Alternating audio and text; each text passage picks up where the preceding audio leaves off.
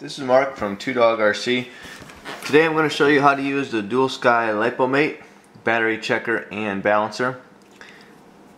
Comes from Two Dog RC. We've got a little wrist strap that you can add onto it. Take your battery.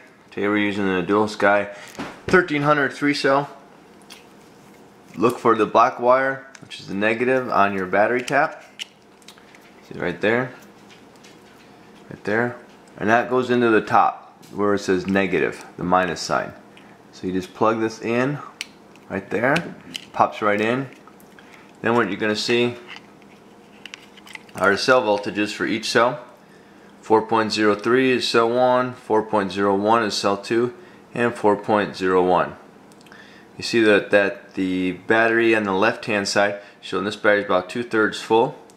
They come right out of the package. And you're going to see right there that the voltage light is blinking.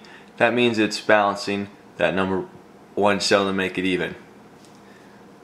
That's all you really have to do to use a Dualsky lipomate available at 2dogrc.com.